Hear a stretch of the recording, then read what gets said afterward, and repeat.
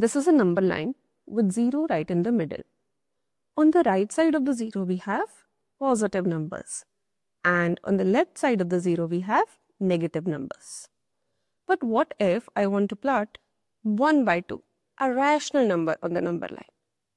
Let us draw the number line and mark 0. Since 1 by 2 is positive, this is for sure going to lie on the right side of the 0. And what if I want to plot minus 3 by 2? Since this is negative, this will lie on the left side of the 0. But we do not know the exact locations at which these numbers should lie on the number line. Also, what if I want to plot rational numbers like 1 by 10, 5 by 4, minus 2 by 3? How do we do that? Let us look into it. We'll start with unit rational numbers. What are unit rational numbers? The rational numbers in which the numerator is 1 are unit rational numbers. For example, 1 by 3, 1 by 10 and so on. Let us pick 1 by 3. 1 by 3 is actually 0 0.3333 and so on. Now this lies between 0 and 1. So 1 by 3 lies between 0 and 1. So we draw a number line and mark 0 and 1. Now the next step is very crucial and it is fixed for all the rational numbers. Look at the denominator and make that many partitions. The denominator here is 3. So we'll make 3 partitions between 0 and 1. 1, 2 and 3. These are the 3 partitions.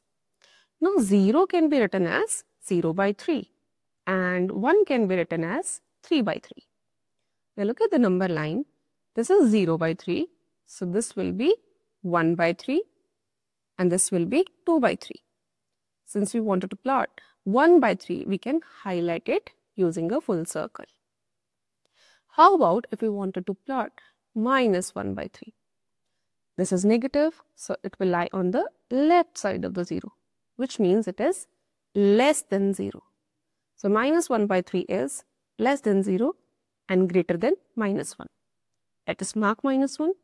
Again, minus 1 can be written as minus 3 by 3 and denominator is 3 so we need 3 partitions. 1 2 and 3 this is 0 by 3 and we are going on the left side. So this will be minus 1 by 3 and minus 2 by 3 minus 3 by 3 so let's highlight minus 1 by 3 like this. Let's move to the next part when we have to represent a rational number in which the numerator is less than the denominator let us take 2 by 5 as an example. 2 by 5 is 0 0.4.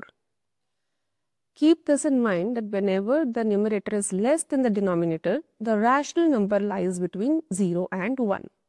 So let's draw the number line and mark 0 and 1. Now the denominator is 5, so we need 5 partitions.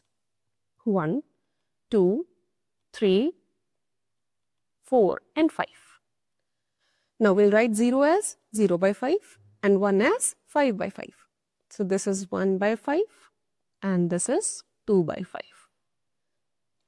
Now let's move on to, uh, let's plot minus 2 by 5 on the number line. Minus 2 by 5 will lie between 0 and minus 1. This is negative, right? So it will go on the left side of the 0. Again, minus 1 can be written as minus 5 by 5. Now let's make 5 partitions 1, 2, 3, 4 and 5.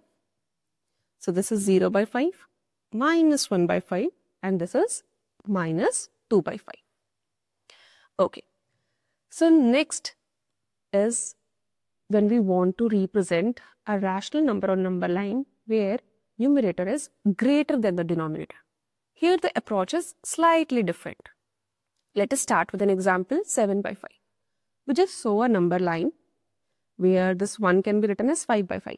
So if I just mark another point here, this will be 6 by 5 and this will be 7 by 5.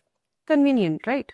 But what if I want to plot a very big number like 14 by 5 or 123 by 5?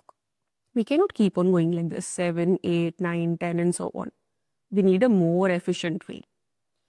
So what we can do is we can do a quick division and write it as a mixed fraction. So 14 by 5 can be written as 2 4 by 5. Now, if I just divided 10 by 5, this will be 2 and 15 by 5 is 3.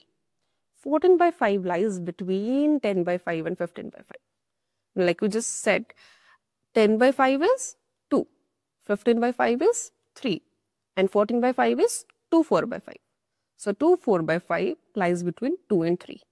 Now we know the drill. Draw the number line and mark 2 and 3.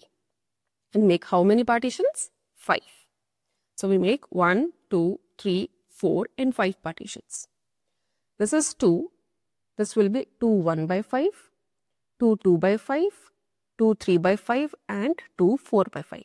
So this is our exact point 14 by 5.